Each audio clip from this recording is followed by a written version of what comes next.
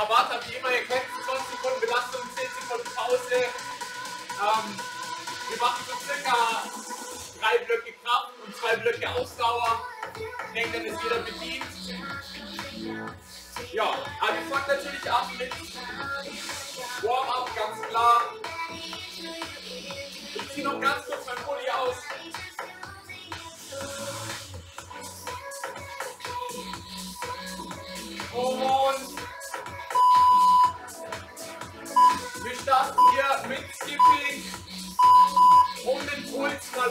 Hochzubringen. Füße immer locker abrollen, Bauch festmachen.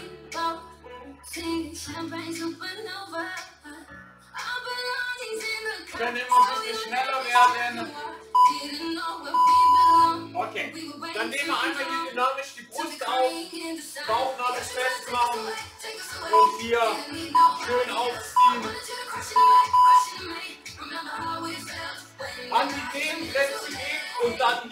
langsame kleine Impulse.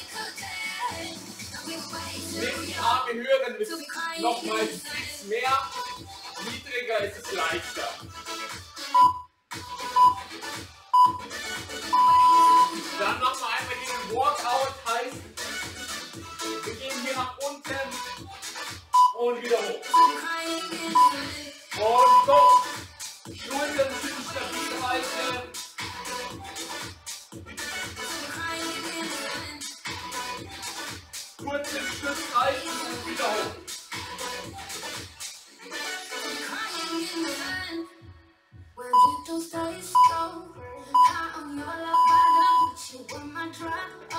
Dann gehen wir einmal hier in den normalen Squat, Druck auf der Ferse, Oberkörper aufrecht und tief.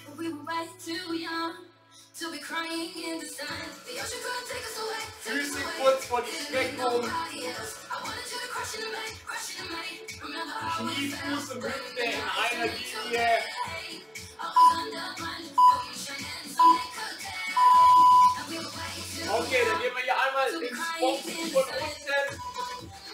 Heißt, nochmal mehr den Puls hochbringen. Und go.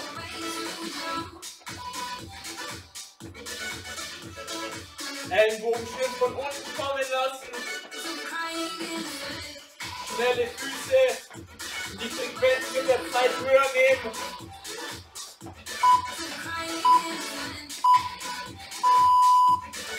Kurz auslockern. Dann gehen wir hier in den Stück. Spannen, bauen die Vorspannung auf. Rippenbogen ziehen zum Becken. Schulterblätter zur Decke drücken. Wenn Sie die Spannung halten können, gleich das rechte Bein, dann das linke Bein abheben. Dann wird der Core schön aktiviert. Kommen wieder hoch. Dann gehen wir jetzt einmal noch ans Anfersen, heißt die Fersen schön zum Po hochziehen und go.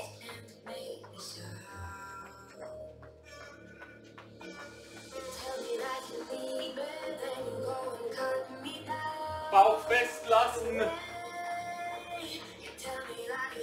Können wieder mit der Frequenz höher gehen.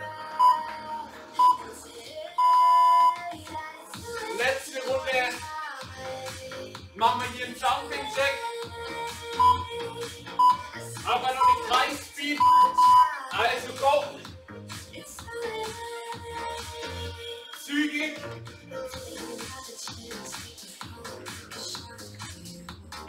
Damit wir gleich auch richtig warm sind, dass wir gleich richtig loslegen können.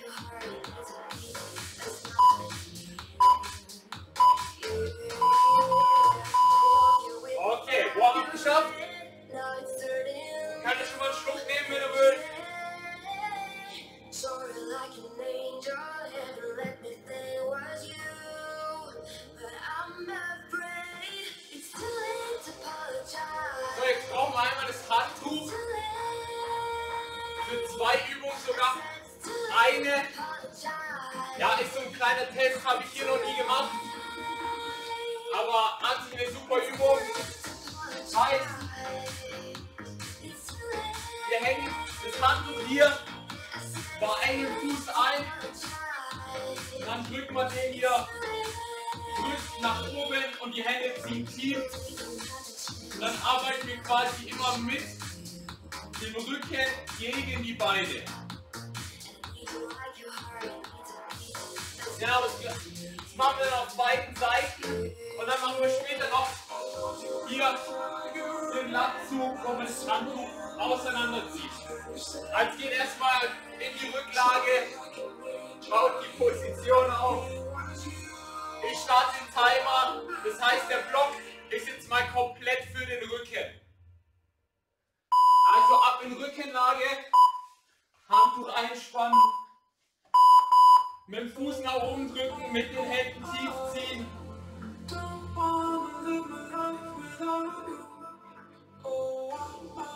Der Fuß arbeitet oder das Bein arbeitet gegen die Arme. Dadurch haben wir eine Belastung auf beiden Seiten. Einmal die Fußseite wechseln. Können auch das andere Bein aufstellen, das ist leichter von der Beweglichkeit her. Und den Rücken schön auf den Boden lassen. Schulterblätter zusammenziehen. Ellenbogen eng halten.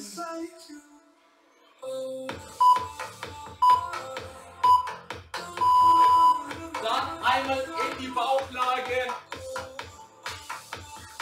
Handtuch fest auseinanderziehen und dann die Zugbrust. So. So fest wie möglich auseinander. Kopf in Verlängerung zur Wirbelsäule halten. Zieht bis zur Brust und wieder nach vorne lassen. Jetzt ziehen wir uns einmal mit dem kompletten Körper hier oben zusammen.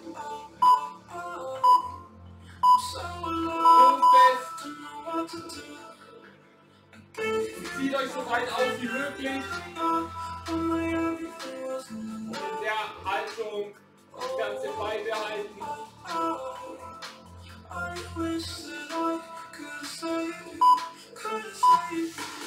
Spannung halten.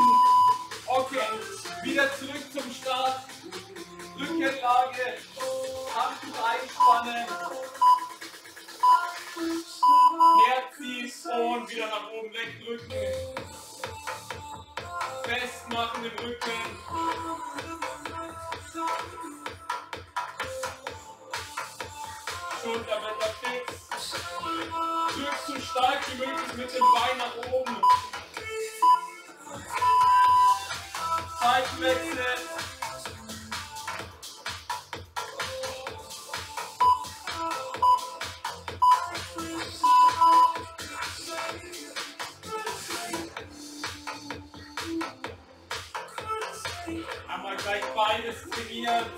festmachen, alles rausziehen aus der Bewegung,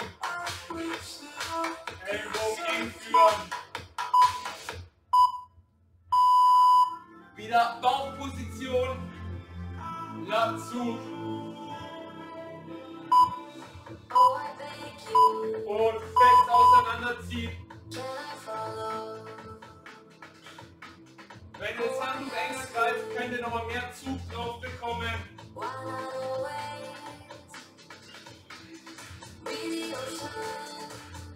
Kopf immer schön in Verlängerung halten. Und letzte Übung für den ersten Block. Nochmal ganz fest nach oben aufziehen. Und komm.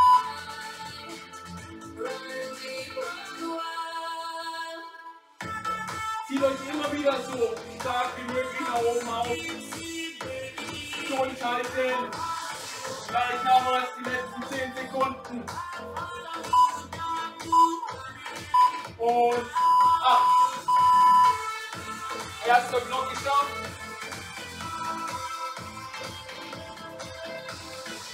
Nächsten 40 Stunden.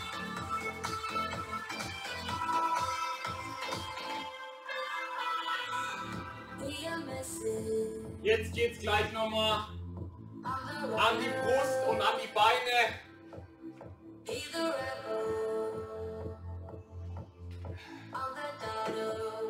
Heißt, wir starten hier mit der Liegestütze, mit der engen.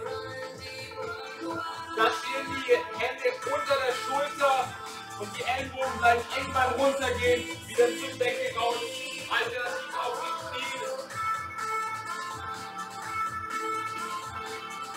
Sagen, fackeln wir gar nicht lang rum. Ich starte den Timer wieder. Entweder auf den Knien oder auf den Zehen.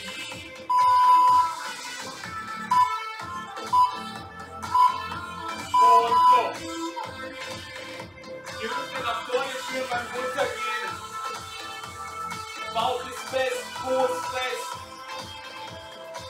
Kontrolliert nach unten, explosiv nach oben.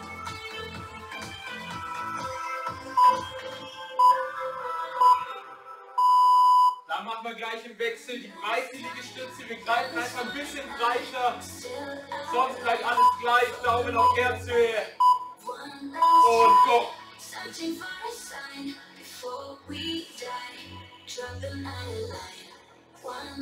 Ellbogen eng. Und beim Hochkommen ausatmen. One last try. Searching for a sign before we die. Dann einmal in den Stand. Lungestellung. Hier, dass es 90-90 ist. Wir bleiben auf einer Seite. Bleiben hier des Tiefpulses. Zeig's aber von vorne. Druck auf der vorderen Ferse. Knie, Fuß und Hüfte in einer Linie.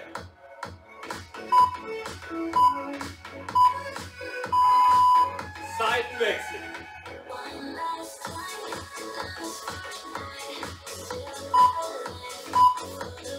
Druck wieder schön auf die vordere Ferse. Bauch und Po fest anspannen.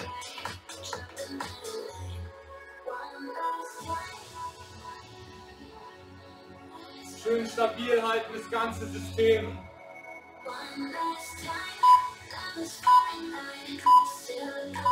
Okay, Hälfte haben wir. Geht wieder zu den Liegestützen. Hände wieder schulterbreit. Und go. Ellbogen eng halten. Zieht nochmal alles an Kraft raus. Die Brust brauchen wir später nicht mehr. Also durchziehen. Vorspannung halten. Letzte Runde Liegestütze.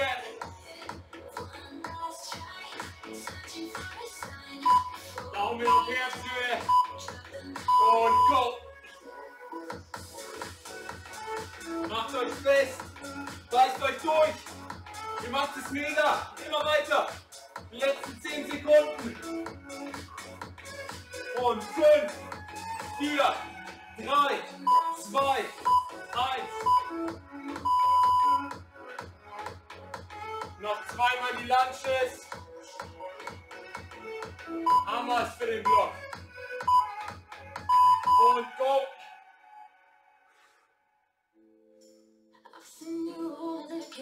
Bleibt wieder recht tief. 10 Sekunden noch. Druck auf der vorderen Ferse halten.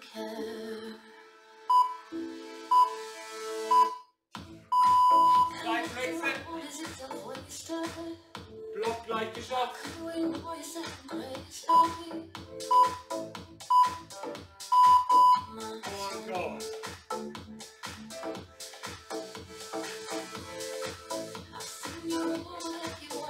Letzten 10 Sekunden. Durchhalten. 5, 4, 3, 2,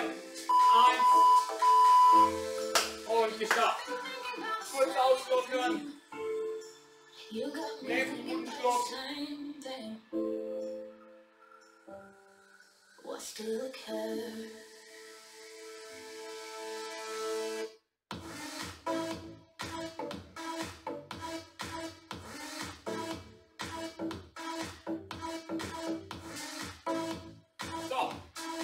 Unser nächster Block ist jetzt quasi eine Mischung aus Kraft und Cardio. Wir nehmen nochmal die Beine ran. Starten tun wir das Ganze mit einem Squat hoch. Heißt, wir gehen hier tief, Druck auf der Ferse, halten in der Position. Danach, ja, geht noch ein bisschen an die Ausdauer. Ne? Also ab in Position. Ich starte den Timer.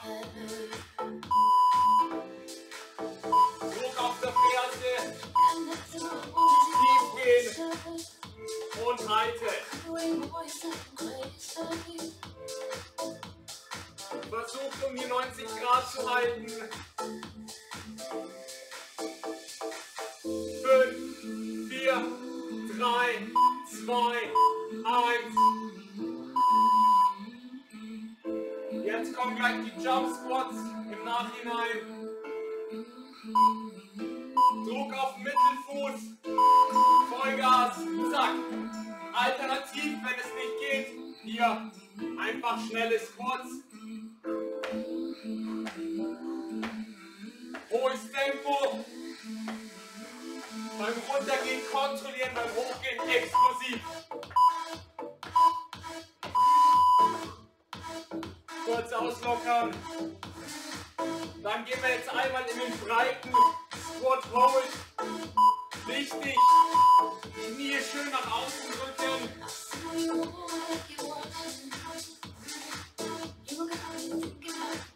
Immer wieder die Knie nach außen schieben. Druck auf der Ferse. 5, 4, 3, 2, 1. Hoch. Jetzt haben wir die Jumping Jacks. Hier, zack.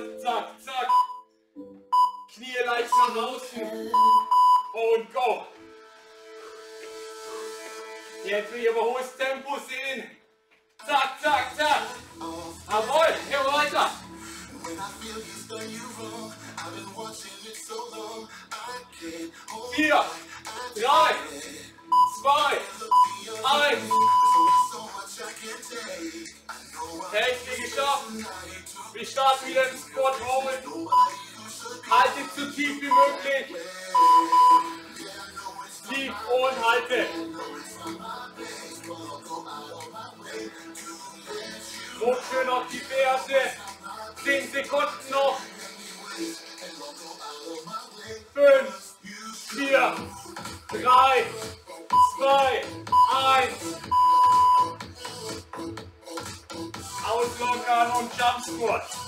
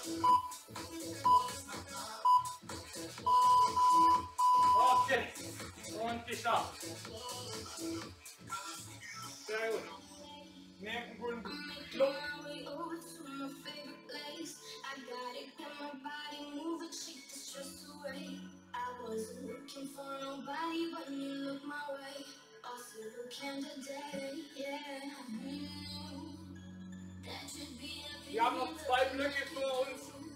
Den nächsten macht noch voll Cardio. Den letzten Block machen wir halb Cardio und halb Cooldown. Okay? Das ist von mir.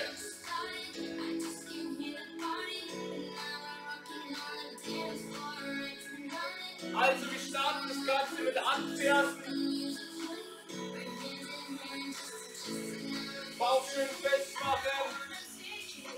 Noch ein tiefen Atemzug. Ich starte im Timer und dann geht's los.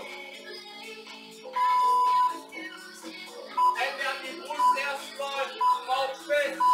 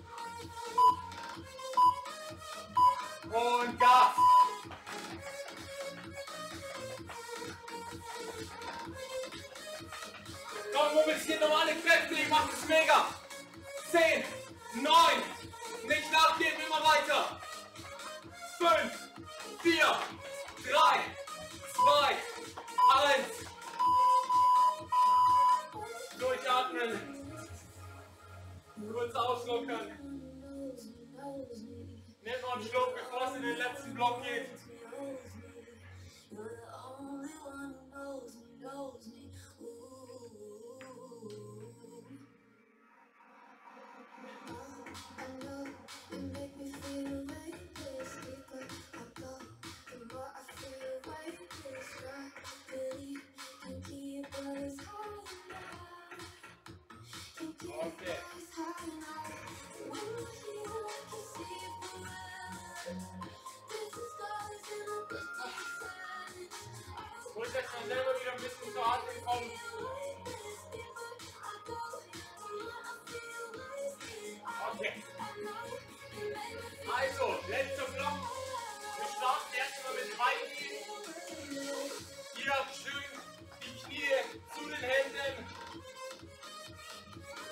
Also, starten wir heute das letzte Mal den Timer.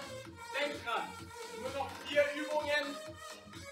Die Ausdauer sind danach cool aus. Also nochmal alles rauslassen, reinhängen.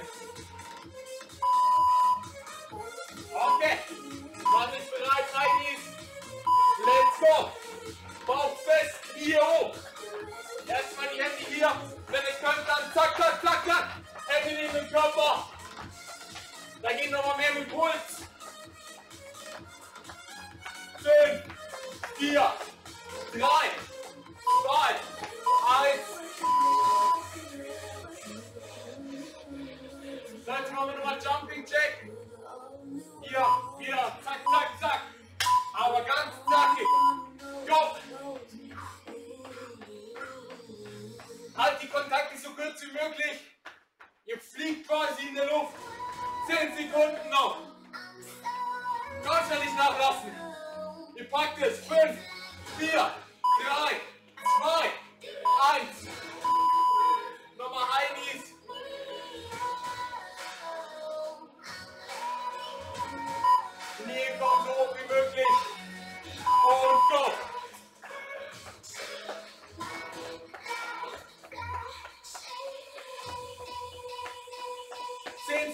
noch, denkt dran, Endspurt.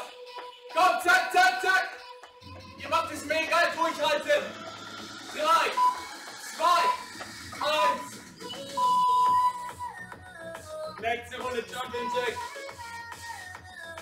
Allerletzte Powerrunde. Und go.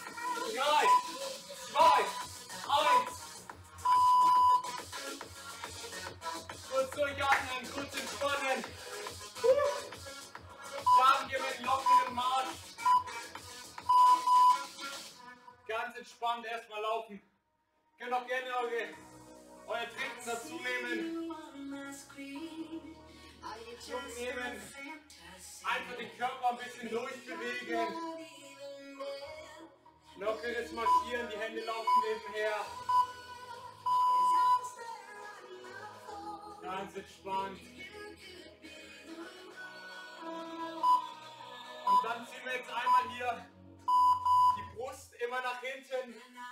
Also die Hände nach hinten unten. Lassen wir eine Spannung in der Brust spüren. Kurz Spannung halten. Wieder lösen. Wieder aufziehen. Lösen. Aufziehen. Lösen. Nochmal richtig aufziehen. Locker lassen. Dann einmal nach unten aushängen. Wieder aufrollen. Tief ein. Und ausatmen.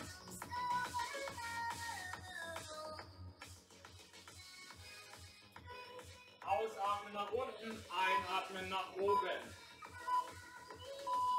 Ganz langsam, entspannt. Mal noch den Balance vom auch abwerfen. Tiefe Atemzüge.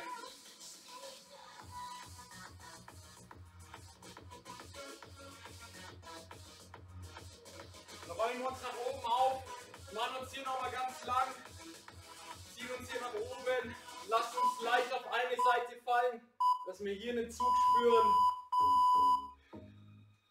Dann einmal auf die andere, um hier den Latissimus noch ein bisschen zu dehnen, den oberen Rücken wechseln. Tief ein, tief aus. Ein Wechsel noch.